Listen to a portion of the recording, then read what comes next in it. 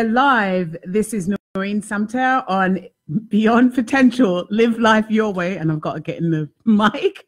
And tonight I'm really, really excited because I have Cheryl Gentry on the the show with me. And uh, I'm just really happy to have her because this woman is so coveted. Everybody wants to speak to her. Everybody wants her as a mentor. She is, you're going to get to hear about that. Like it's, I'm excited. I'm really, really excited. Um, so today, like I didn't do much today. I kind of I did work, but I was still sort of basking. And th- that's Basking that that's basking in the glow. That's Cheryl's one of her handles, right? Mhm. And um, I'm basking in. And you know when I say that, I think of basking in the glow of love.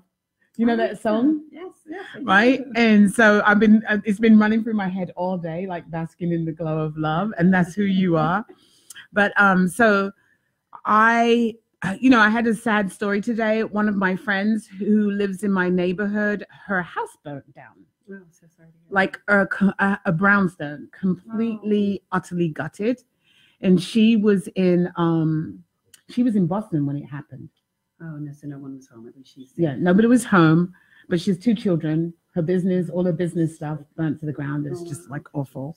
And uh, yeah, so I'm just really sad about that.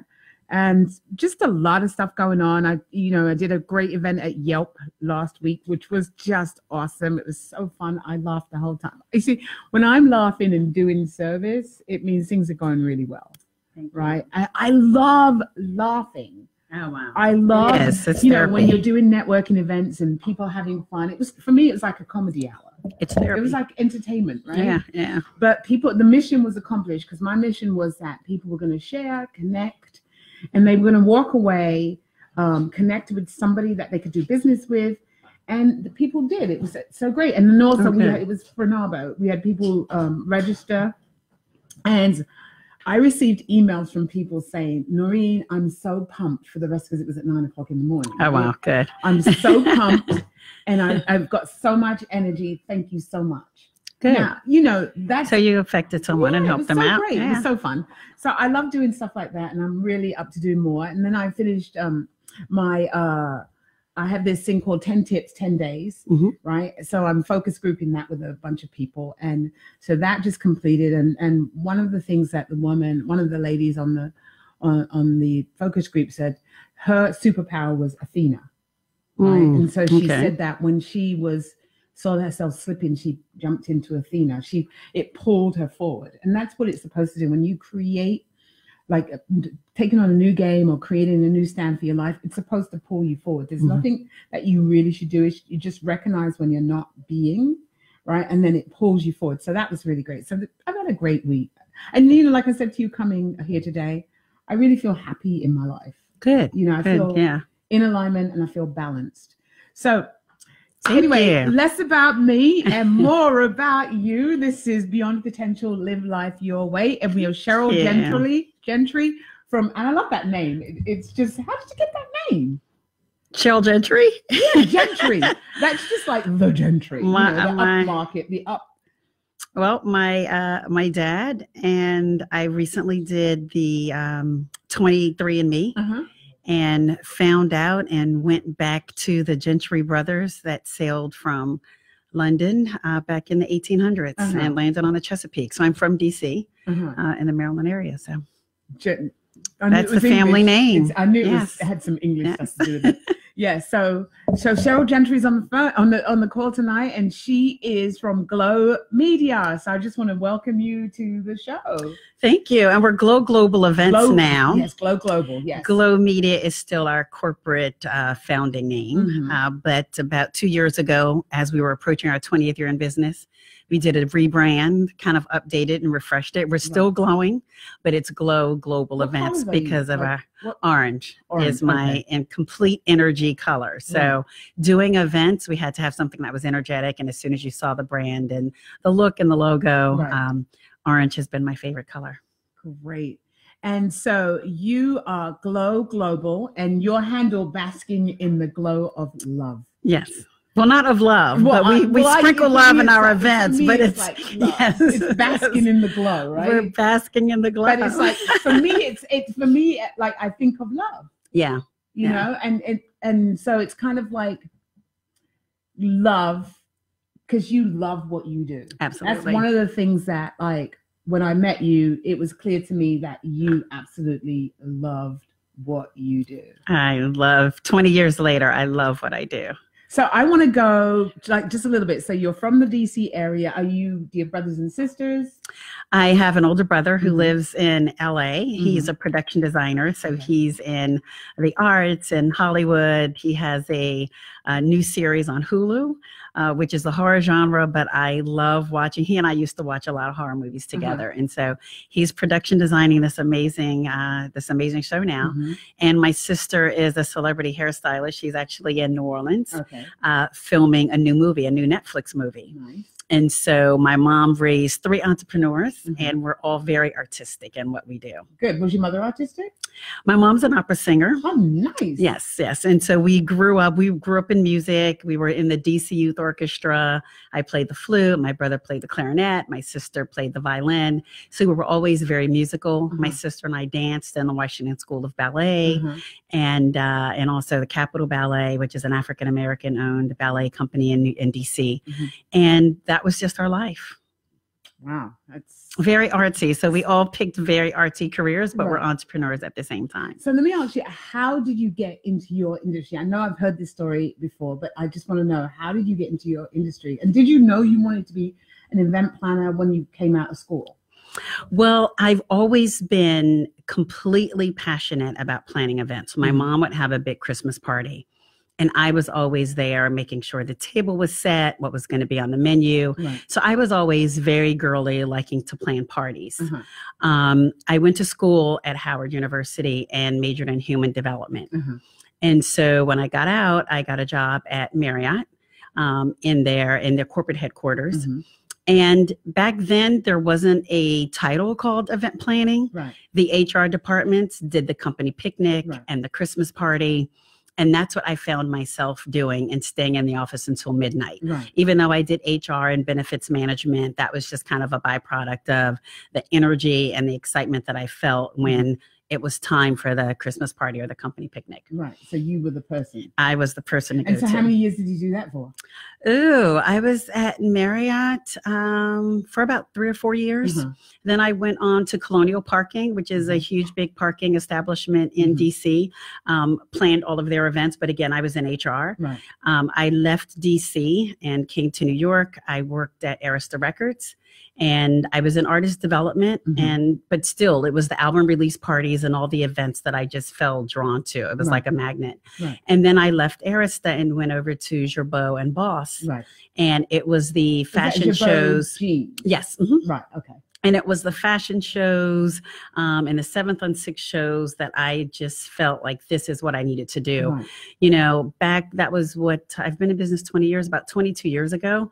Even the gifting suites wasn't a big idea. And sometimes I like to say, if you really look back in history, I probably kind of invented the, the Right. gifting suite.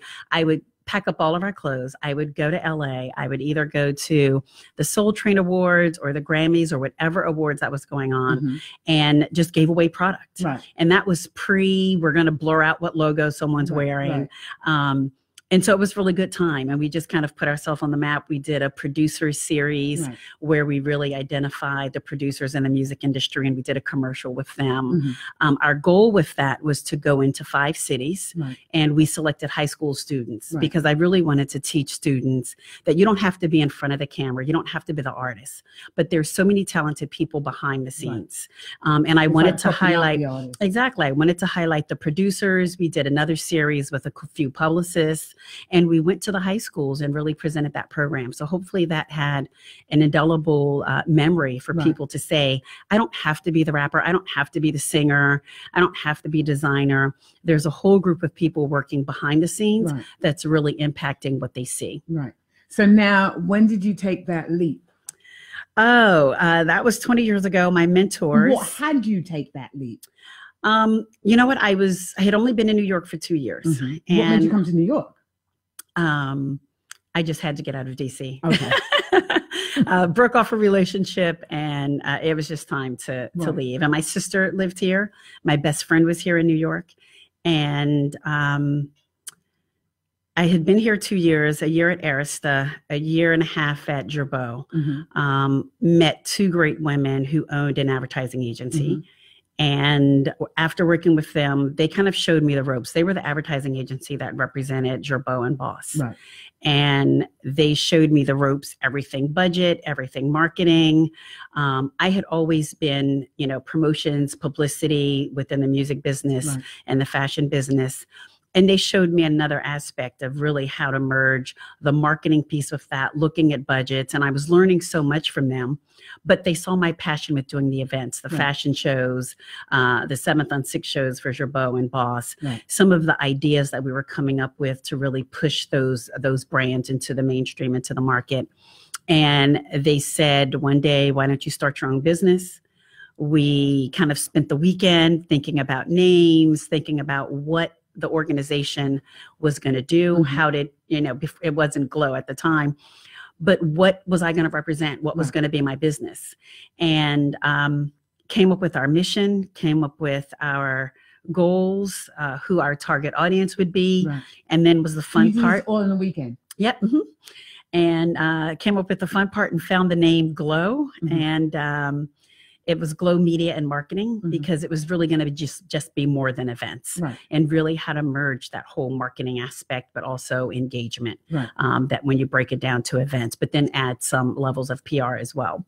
And uh, I went to my boss. you. You're just like I just you're just remembering this. I am. and I know. and It's just like you're just remembering it, and it's I, I can I can feel it. Like I can feel the excitement. You know, you're 20 years younger. You're just all chipper. Yeah, yeah. I mean, it was really. I went to my boss and I made business cards Mhm. at like a really quick express place, and I said, "Here's my business card. I'm starting my own business, Right. but I'd love to keep you all as a client and work with you." And I stayed on uh, as a What did he- consultant. What did he say? He first of all, he said, "Where did you get your business cards? How did you do this so quick?" Right. Um, I don't play. Exactly. Um, but I was ready to step out and they believed in me. It was an organization that didn't feel threatened by me leaving and they wanted to support my endeavor. Mhm. Um, I took my assistant, Mhm. uh, who was Glow's employee, Wow. uh, and she was at, at uh, Girbaud and Boss with me. And we started in my kitchen. Uh, we had amazing big clients. I think Vibe was one of our first clients. Uh-huh. They were doing a Vibe style show at the Javits Center, Okay, which is gonna- a convention we're gonna, center. We're going to hold that. We're going to Okay. snip that right there, and we're going to be right back.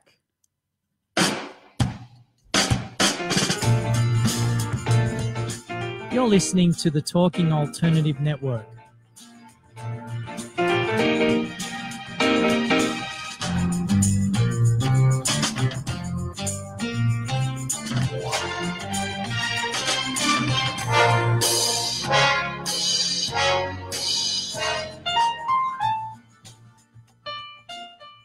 You're listening to the Talking Alternative Network. Are you stuck in a rut? Negative thoughts, feelings, and conversations got you down? Hi, I'm Noreen Sumpter, the Potentiator. Tune in every Tuesday at 9 to 10 p.m. Eastern Time and listen for new ideas on my show, Beyond Potential Live Life Your Way, on talkradio.nyc. Who do you want to connect with? Are you an entrepreneur or intrapreneur looking to build your following? Welcome to our show. Follow Me Friday with Joan. and Priya Tune in every Friday at noon Eastern. on talkradio.nyc. We're, your digital connectors. Woo woo!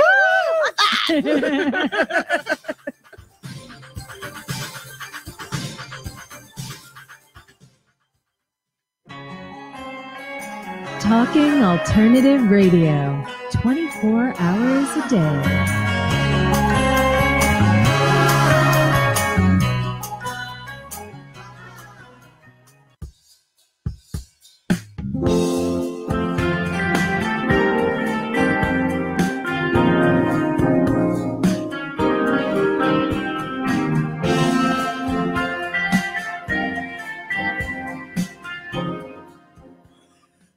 This is Noreen, and we're back on Beyond Potential, Live Life Your Way.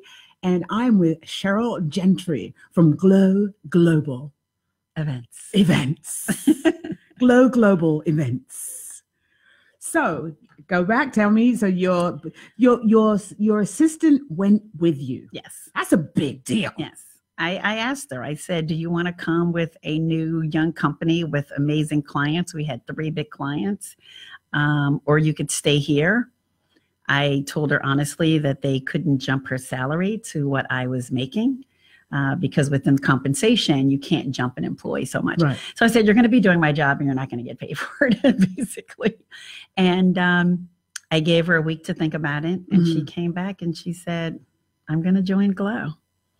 Wow. And we're still friends to this day. She's just a sweetheart. Uh, I've I've had a lot of employees and a lot of people that worked with me over the years that I've served as a mentor, that I've nurtured, that I've helped out with their career, Right. and uh, she's just a sweetheart. Oh my God. My she- first employee. I, like I'm getting chills from that because it's just like she, it, it's almost like she was meant to be. You know what I mean? It was like that. It was like an intuitive, like a support, like a wow. That's Yeah. a big deal.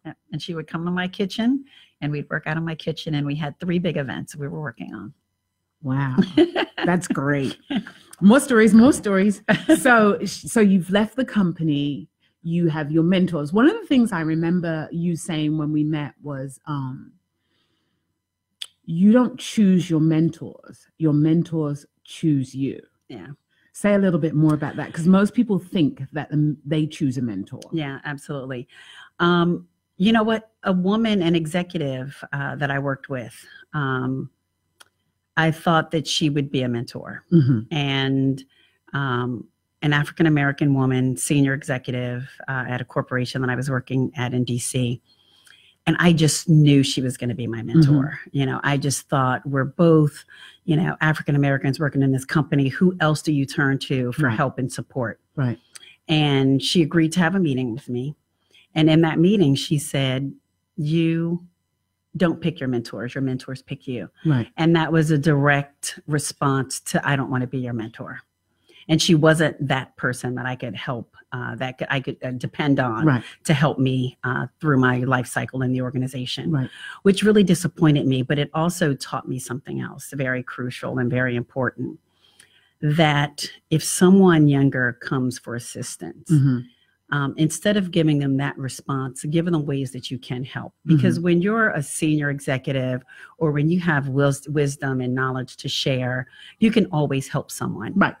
You can always help. Even if it's sometimes I meet people at conferences or events that I'm speaking at, even if I, I let them know that there's some tools for them to research, Mhm. whatever those tools will be, listening to their stories. It might just be that one time, um, but always offering something to help someone instead of just walking away. Right. And so that's why I mentor a lot because Yes, you do. I have I had those mentors. I currently have mentors that I can pick up the phone and ask questions. Sometimes it's not as formal as every month. Mhm, mhm. Um, sometimes it's quarterly, but sometimes uh, one of my mentors serves as a sponsor. If there is ever anyone looking for an event planner, right. he puts my name in the pot. Right. From the largest organizations to the smallest organizations, he's always thinking of me first Right. in mind. So, That's awesome. That means you have integrity and he respects what you do. yes. That's awesome.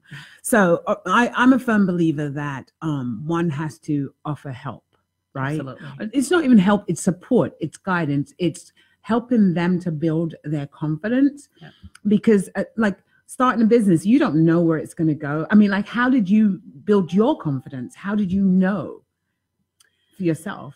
Well, I've always been confident. Right. So my mom instilled that in in us. Uh, my first business, I was in high school. Mhm. My sister and I uh, would sell songs, lyrics Mhm, to mhm. songs. I know this story, but you know, Yeah, we would we would write uh, all the lyrics down Right. and sell them for five dollars a song to all of our friends in high school. right, And so we saw a need, we fulfilled it, Right. and then we made money doing it. right, And so I think we were always all entrepreneurial. And, you know, my mom um, and, instilled that in us. uh huh, So I was always confident. uh huh, But being new to New York, I didn't know that I could start a business and be successful.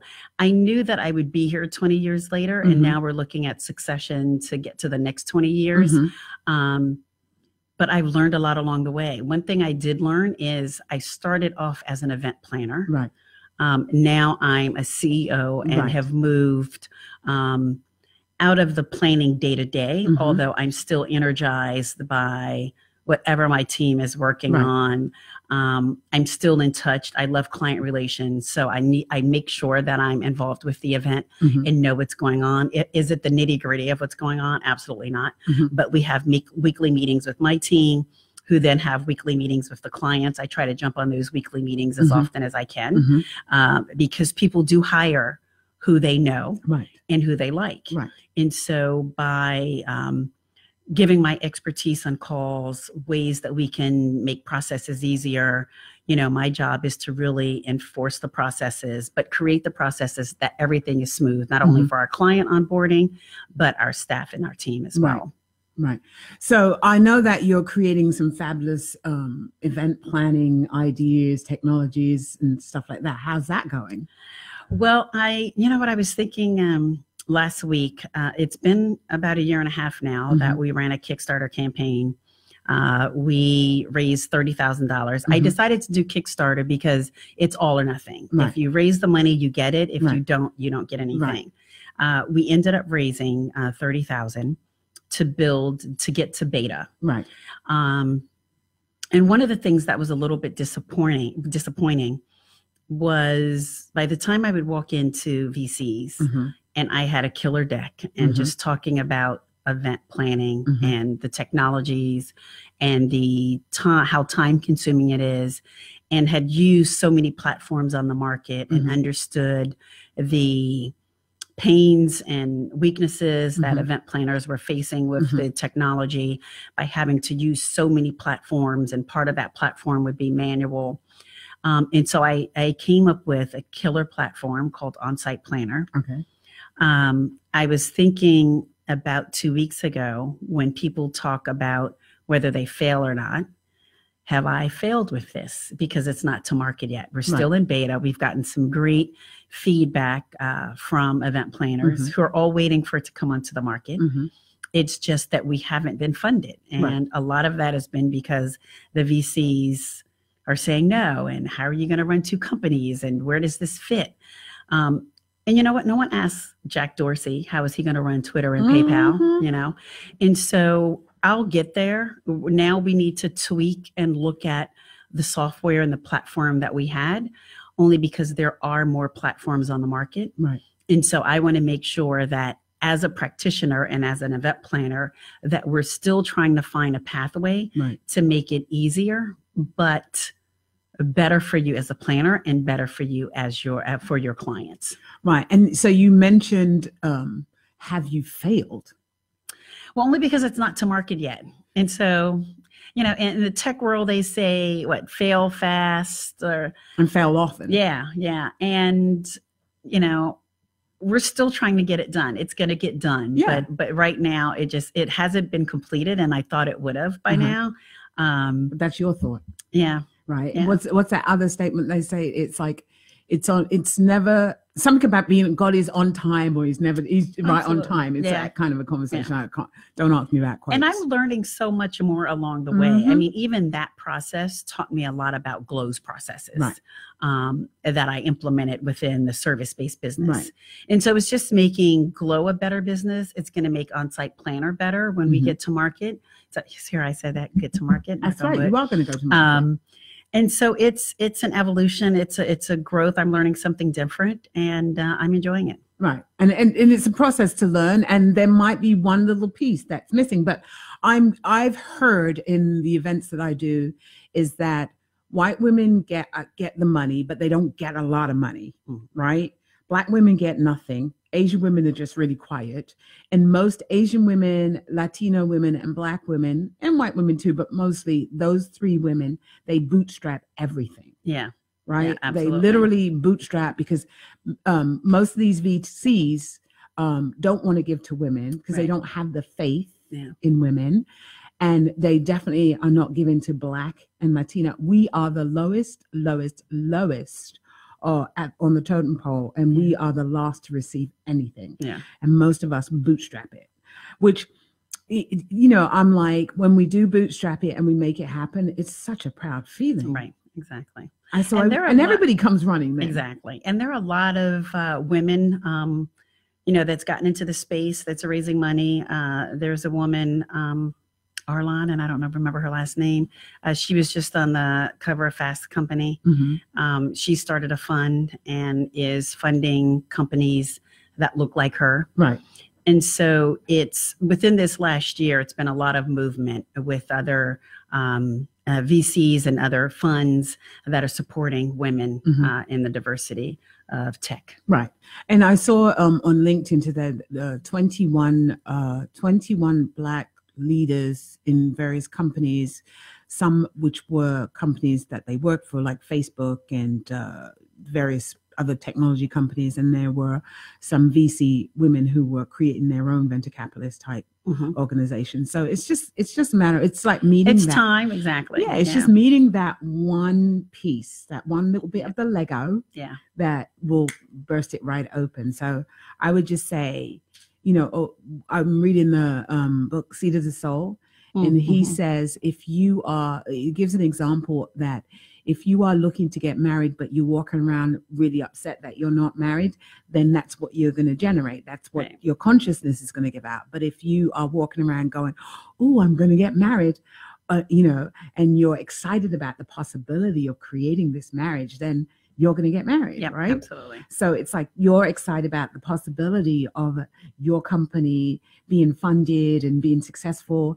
It's going to happen. It can't not happen. Yeah. I always try to say, I always say, not try, that it's already happened. You're just walking into it. Yeah, absolutely. You know, so Yeah. yeah. that's really awesome. So we're going to take a break and we'll be right back. Uh, thank you. Yeah. You're listening to the Talking Alternative Network. Do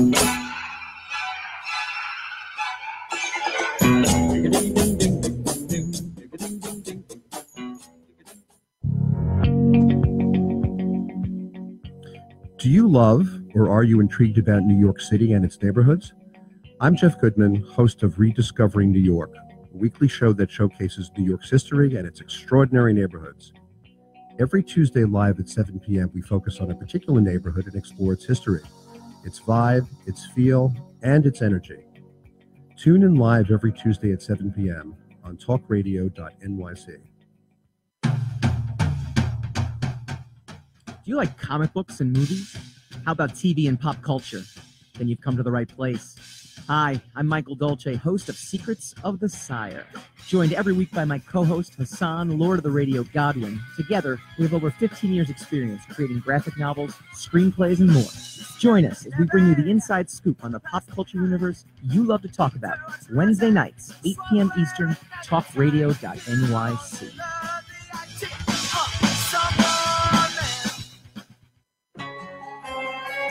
Talking Alternative Radio, 24 hours a day.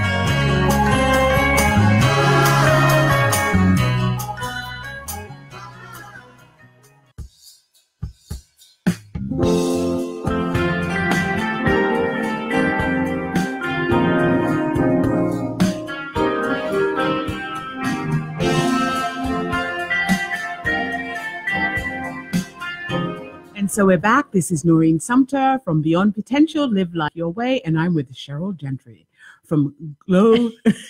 You love saying that. I do, and that's where that's where I get stuck. Glow Global Events. That's a tongue twister. no, let me tell you, every it's almost every client, every person that comes on here, it's like there's if it's the name, the company, it's something. I always screw up, but I always say if I don't screw up, we're not having a good show. so I wrote a bunch of questions, but like Okay. um so so when you're doing when you're doing your business or when you were in the day-to-day of it all, and even now, do you like rely on in, do you feel your intuition talking to you? Do you do you go into any of that?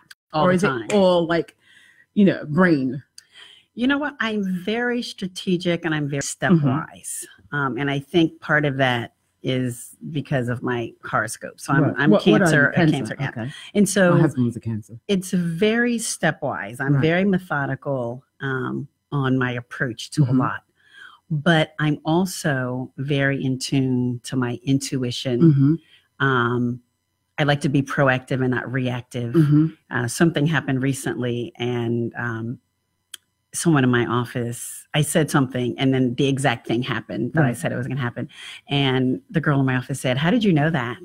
And I was like, I could feel it. I, I could feel I, it. I, just, I was just about to say you could feel it. I could feel it. yeah. You can feel someone's energy, um, whether we're meeting with clients, whether I'm interviewing people. I can immediately feel an energy. Right. And um, we, and I'll tell you the situation. We recently hired someone, and two days later they quit. But after she accepted, hmm I said, I don't think she's the right person. Right. But we had made the offer, and I didn't want to rescind. Right. But two days later, she left. So uh, when you started in, so have you always been an intuitive, like working with your intuition, or is this something that you developed when you went out on your own? I think I always had it. Mm-hmm. I've always relied on that. Um, I've never wanted to hide it or bury it. Mhm. Um, sometimes my intuition will cause me to be still Mm-hmm. um, because I don't want to lead, of course, my business based on just all intuition. Mm-hmm. But it allows me to stop and pause Mm-hmm. and not make a decision Right. sometimes. Just maybe think about it. Why am I feeling this?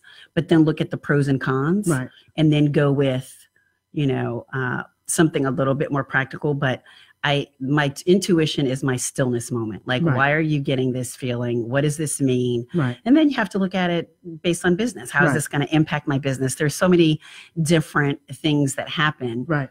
of how your business is impacted without just jumping the gun but i still rely on my intuition but it allows me to be still So it's like a flow. Yep.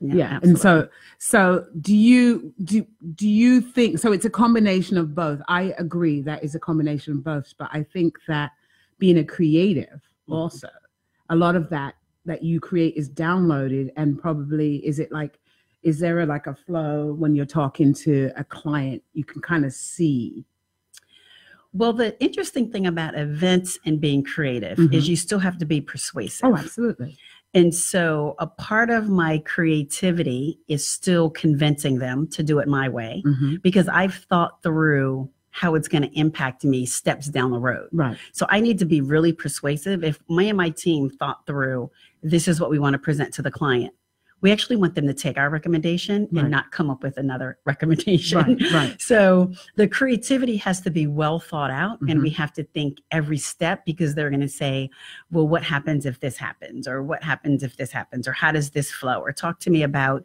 how you see envisioning this happening." So we have to do our our our uh, creative brief and our boards, but it also has to flow through the event and through the end. right And I think that's what I th- I think that's how event planners or that's how we're different than an artist. Right. You know, an artist will feel and draw. Um, I'm not an artist, so maybe they have the end, the But you're other doing a side different of that of art. drawing. Yeah, yeah. And so we're all we always you're actually manifesting you're actually for me uh, what it looks like is you're pulling out manifesting creating and you're actually bringing it to Yes. Yeah. Yeah. Making because a conference isn't creative. I mean, it's fun. We get to meet a lot of people, but you know, doing a conference for 700 to 1,000 people, it's I mean, logic. that's that's not fun. That's not that creative. Uh, but we can add some creative elements absolutely in. Um, we've been creative with scent marketing now. So when uh, you walk in, uh, it's not visible, so it's not smelling like perfume, but Mhm. we're using essential oils and uh, to flow through the room to give people any emote different emotions and Mhm. feelings. Uh, we're being creative with food and looking at um, how we're snacking and not just a lot of junk Mhm. but creating things that have probiotics in it Mhm. or um, things that'll keep you up or you know just really looking at your diet and really being purposeful I was on- laughing because I, I was at conference this year. Food was so bad. I thought I was going to die. Literally, I jumped in a cab oh, wow. and I went to Trader Joe's oh wow and I like stocked up on food. yeah I literally, I actually bought my own food at the conference. People like, "What are you doing?" I said, "I had to eat vegetables. I had to eat vegetables because it's remember- bad and lately it's been bad because it's really bad if it's junk like no one wants potato chips at a conference anymore you know so It wasn't really- that bad, but like it was just, you know, stuff sits a Yeah. long time Yep, until it gets served and it gets hard and it loses its flavor and texture. And Yep. yeah, like that. Absolutely. So we talk to the chefs. We ask that um, if they can use products that are locally grown. Like we're Mm-hmm. really sustainable. We're really looking out for our clients. Um, but we want to make sure that we're being bringing the best to the attendees Right. and that we're being cost effective. But sitting and talking to a chef about, you know, buying locally uh, isn't more expensive. Right. It just helps with the economy and uh, the neighborhoods and the community. yes. Exactly. So now, what what are the skills like the the basic? Because you know there are a lot of people out there that say they're event planners. there are a gazillion people out there, Yeah. and you still got. Look, I'm not an event planner. I did I did a power networking last week, which you know there were 77 people. And like I'm like this, there's 77 people. I know exactly what I'm going to do. I know we're going to register them. We're going to get them in, right? We're going to feed them and that's the last thing I think about is food. and we're going to have them have a really good session. However, it's really challenging. yeah. It's and especially if you're working with um another vendor or and then they have five people that they're working with and they it's a lot of work, Yeah. you know. And then we were trying to do it for as little as little dollars, as little dollars as possible. yeah. Right. So I can't imagine working on a humongous 750 people and a gazillion helpers and start. Uh, I can't imagine. So what skills are one of the most critical, not just the strategic, but like what is the most critical skill that a person has to have? Well, event planning is one of the top 10 most stressful jobs, Okay. according to Forbes magazine. Um, but you have to be detail oriented. Okay. You have to love the nitty gritty of the details. You have to have processes in place on how to track those details. Right. Because a big part of, yeah, I'm writing the details. Yeah, I'm listening to what the speaker wants. But then how are you recording it? And then how are you sharing that information with Right. others? And so you can imagine over the 20 years I've been in business, now there's shared drives. Right. So things are very easy to share with the client. But when I started, it literally was everything on Excel and sending emails and Right. waiting for the email and waiting the response. Right. Now we have shared drives. We use a lot of surveys. We do when we first sign a client, we send them a client survey to answer all the questions that we're going to need. Right. We set up a project management portal Right. so they can go on. We upload the information so they can see what we're doing real time all the time. We're sharing reports all the time so they can know how many people are signing up, how many people are registering for the conference. So it really is the most important thing is finding the best way to track all that. I'm laughing because I'm like, I get excited when I got 40 people coming to an event. I get excited. It was like, I can't imagine 70, 700s or in the hundreds or in the thousands. Yes, yes. And then moving some of those people. We've done events where we've had a thousand people in Hong Kong and 500 of those were coming in from other countries oh, and tracking itineraries and start dates and departures. How many people uh, in your organization, when you guys go out on the road, how many people come out with you? So we have a core team that usually comes out, which is about eight, between eight and 10. Um, and then we bring on day of staff Okay. to help out with registration. But those eight to 10 people are really the leads with food and beverage management. So working with the kitchen and the wait staff to make Mhm. sure that the venue has the wait staff out. Working with the venue to make sure the tables are set like we wanted, Mhm. the decorator has everything. So then that breaks down into the timeline, which we call our event day tick-tock Right. who arrives at what time what time is the photographer and videographer getting there to set up? What time is the talent going to arrive to do sound check to walk on the stage to see how it feels? So all of those things we have Hmm. our production lead we have our show caller uh, we have I'm our ex- I'm stage manager. So we bring in as we move closer to the event we have quite a few people attendee management who you know works through the attendees uh, everyone checking in uh, making sure their process is smooth when they Right. check in and getting to their table I used to be a secretary back in the day. And um, so just checking that your boss has his itinerary. it's like that in itself. I can't imagine doing that for like hundreds of people. yeah And then I got to get them in the cars and I got to get them in the hotel and I've got them. Wow. Yeah. You have to be detailed. Yeah. And you have to enjoy it. yeah absolutely So, what's one of the, mo- if you can, what's one of the most fantastic? I mean, I'm not sure they all are, but what's the most memorable event that you have done so far in your 20 years and what's the vision of what you would like to do what would be like the epitome of an event that you would like to do Uh, the the the best event I think we did, which was um, don't say kilimanjaro no, it wasn't that. um, although I I love all the events that we do abroad. We Right. did an event in uh, Rwanda in Mhm. Kigali, Mhm. and um, just meeting the people. We always go on site and get to meet the people in whatever country we're going Right. to. We like to adapt some type of cultural activity Mhm. within the event. And so we had drummers uh, to open up the program. It was just absolutely beautiful. Right. And Kigali was a beautiful backdrop uh, to have that event. Um, we've done events in Mauritius and Hong Kong, but the best event I think we did, which was, um, one of yeah, it was one of the one of the best, and it was for Shiseido. oh the And- makeup people Yep. And we built a labyrinth. Mhm. So as you walked in, you the guests registered and you would walk in, but you would have to go through a maze. And we actually hired a labyrinth designer Mhm. because we didn't want it to just be Some kind zigzag and yeah. you go through. We really wanted you to have ins and exits Right. and it was an experience. But as you were walking through that, there were atomizers that would every seven minutes spray so you could smell as you walk through. Mhm. And then um, after you did that, we hired a voiceover artist Mhm. to really talk about listening the notes and as you would walk through and he Mhm. was saying you know lavender and so it was this experience going through this maze Mhm. and it was all about touch points on that and so i absolutely that's one of my favorite events Cool. And I also um should we save this? I'm gonna save that for when we come back. We're gonna take a break and we'll be right back.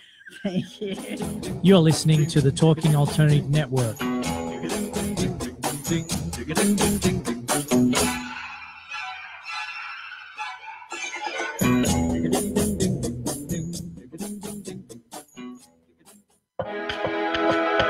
The best designs for your life start at home. I'm David Thiergartner, interior designer and host of At Home. Listen live Tuesday nights at 8 p.m. Eastern Time as we talk to the very best professionals about interior design and the design that's all around us, right here on talkradio.nyc. Are you a conscious co creator? Are you on a quest to raise your vibration and your consciousness?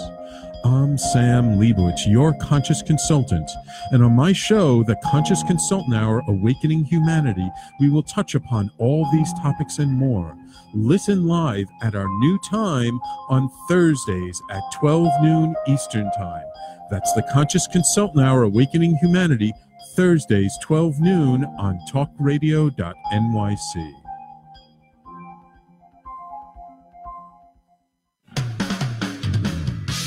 TalkingAlternative.com.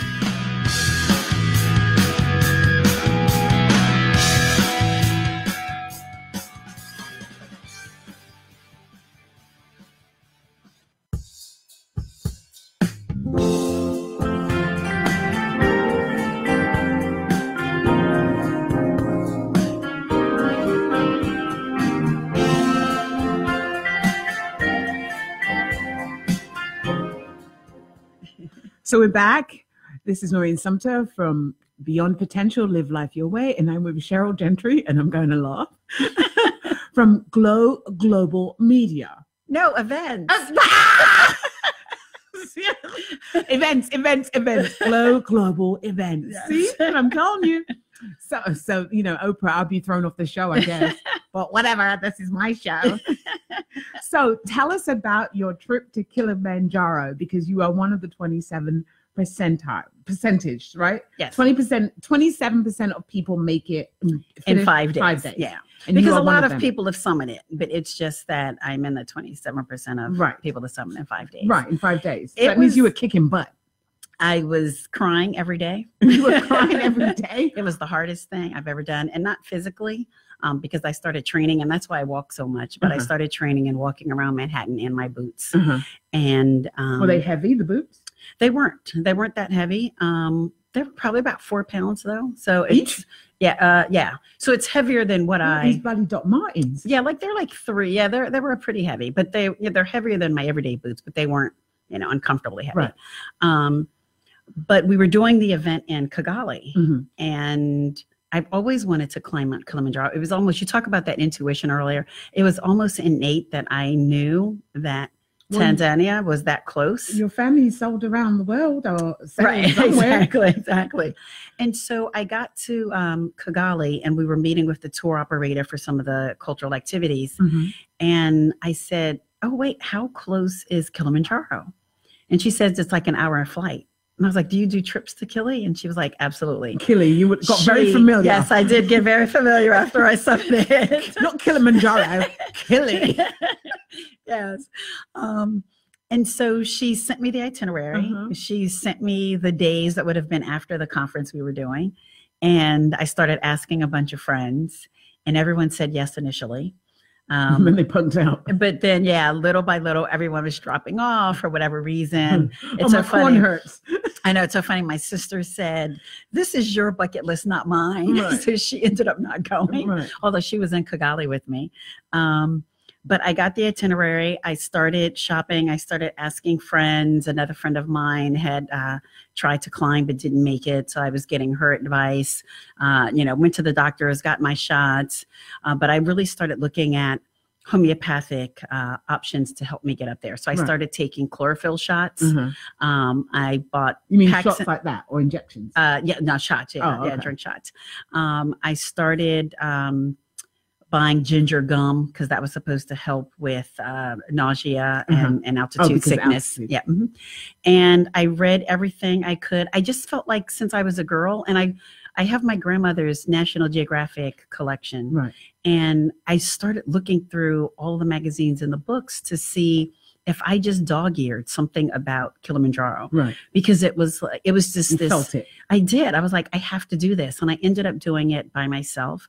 I hired a porter, Mhm. a cook, Mhm. um, a guide. Mhm. And um, when I got there, I was telling the story the other day. I got there and my bag was too heavy. Right. And so my the the guide said we're going to have to bring another porter to carry the other stuff and the What do you stove have in and the there? oven. And they made Jesus me Christ. What did you just say? A stove and well, that's oven? what the cook had. The- So Uh-huh. we needed a, another porter to carry that stuff. But I opened my bag, and the guide sitting there with me, and he's like, "Why do you have five pair of shoes?" One for he was like, "Why do you have like three pair of sneakers and another pair of boots?" And I was like, "I need to take pictures. I want to look different every day." he's like, "No, we're gonna leave those." Right. Um, and so I took those out. I think I had like five pair of sunglasses. Um, I had the hand warmers, and I had a huge big pack that I think I bought from like you know Costco's or Walmart. Right, right.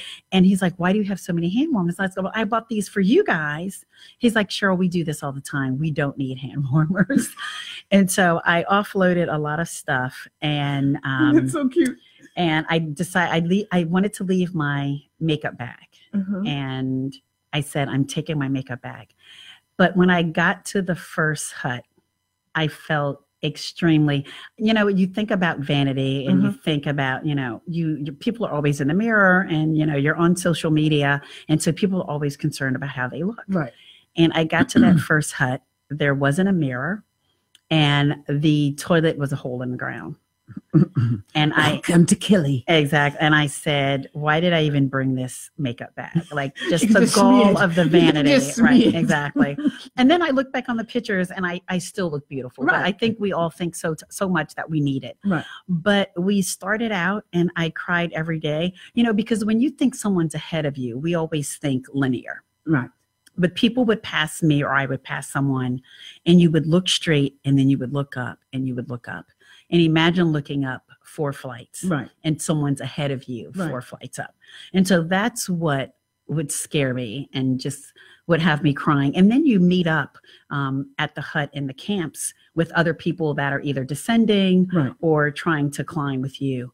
And just the emotions it's great to talk to people but just the emotions you could feel it if someone didn't summit and was coming down Right. they were in tears they're Right. crying so then you're thinking can i make it Right. or then you would see the people that are coming down like yes congratulations you're gonna do Bust it it out. right exactly And then so- you're, you're you're they're running on adrenaline. They could do it again. Exactly. And so some days, you know, my guide would time me. Some days I was really slow.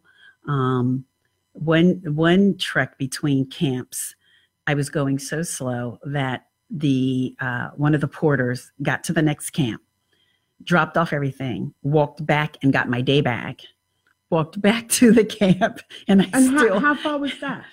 Oh, it was, I don't even know how many miles or kilometers it was, but it was, it took me hours to get back after he had done it twice and to carry my day pack. What do they look like? Are they strong? I mean, are they lean? Are they, you know, They're tall, uh, wiry, lean, yep, mhm, and strong? and strong, exactly. And They got probably got they're walking, great big lung capacity. yeah, and they're they're doing this as soon as I uh, got back down to base camp. The next day, two days later, my Right. guide was going out with another group. I mean, so these guys are used to doing it. You have to have a guide to climb. Uh, the guides have to be uh, Tanzanian. And so just learning about their culture Right. and talking to them on the way up the mountain, Right. um, it was just an experience that I will never, ever, ever. And so, what did they say to you when you were crying? He was like, no blah blah blah on the mountain. he was like, let's go, no blah blah blah blah blah. And um, So, what did you find out about yourself uh, while doing that trip?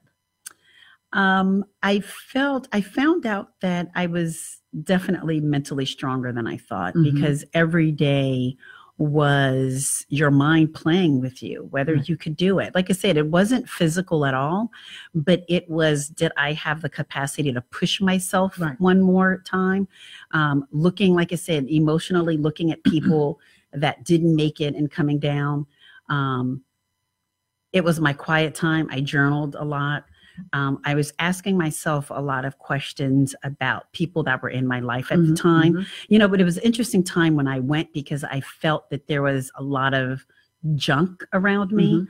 Uh, for whatever reason, I couldn't identify it. And um, I started writing about those experiences. I started uh, asking myself questions of whether I wanted to deal with certain So personalities. Exactly. I was exactly. Exactly. And it was like the mountain was talking to me. I Right. started calling her she. Um, because when I would look up, There that's when. I knew I would have to fight. So I even found myself looking down. So there was a humbleness that came over Right. me. reverence. That exactly, exactly. And so um it was it was just an amazing time. Just, you know, starting off with seeing the animals, um, but then getting to the top and it was just so What cold that there like were no animals. to the top?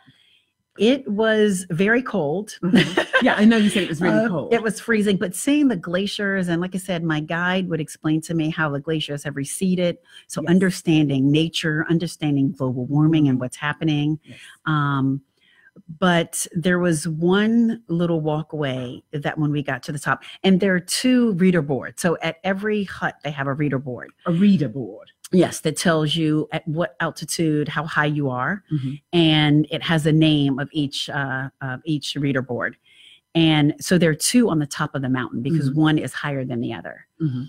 And I got there and I just sat down, and like I told you, I had written a note Mhm. that said I did it, and I Mhm. had written the note in October, which was a month before I climbed, Mhm. and I said I did it, and I had the date and I just I was looking for that sign because I wanted to pull that sign out. Right. So out of being cold and trying to find this sign in my in my backpack, um, so I Thank God you find, didn't have the thousands of Exactly. shoes. and my guide took my GoPro and started doing video of me, and I took the sign out and we took a picture, Uh-huh. and uh, and then we were out of there. It was time to get back down because there were people that had left the base camp how with long did it me. take to, to get down? Um, so they're different camps. So base camp took probably about another four hours, but I got to one area which they call um, Jamaica's Rock. Jamaica? Yeah, Mhm. because there were some Jamaican guys that climbed and then they end up jumping because they were high, and so they jumped off the mountain. And it really is that steep that you can jump off the mountain. And they died? and they died. And so I was at My poor um, and so I was at Jamaica's Rock, and my guide said, if you don't make it to the top of the mountain in the next 30 minutes, I'm going to have to send you back. Yeah. Well, all the books that I read, I thought that they wanted you on the top of the mountain so you can see the sunrise. Right. But in all actuality, if you don't get to the top within a certain amount of time, it's going to be too cold because it's going to take three hours to get back down and Right. descend. And so we left at the sun's going midnight. Uh, The sun's coming up. Oh, okay. And so we left at midnight and we had to zigzag all the way up because the top of the mountain is volcanic ash Right. and you could slip and slide back. So over midnight is when the ground is hardest. Oh. so okay. we had been we had been walking for six hours. We left at midnight. It was 6 a.m. The sun was coming up. He knew it was going to take another three hours for me to get back down. Right. And so with those temperatures and that cold, you can't be nine hours in the frigid cold. Right. Right. Right. But I made it. Wow. So uh, if you know what that says to me, yeah, what that says to me is that your tech situation, you're gonna make it. Yes. You got it. So we are at the end of the show, and I Thank just want to thank you so much Thank for coming so on. It was really great. It was so pleasant. It's like talking to a girlfriend. That's right. That's how the show is. It's not supposed to be like, you know. So I just want to say thank you very much. And um, thank you all for joining and for the people that are going to be listening to this later on. Yes. Thank you so much. I really, really appreciate it. I knew I loved you the moment I met you. so thank you. so much. And this is Noreen Sumpter signing off on Beyond Potential. Live life your way. Bye. Bye, guys. Thank you for joining. Yeah, Everybody that thank you all for joining. Facebook Live. I'll post. You're listening to the Talk.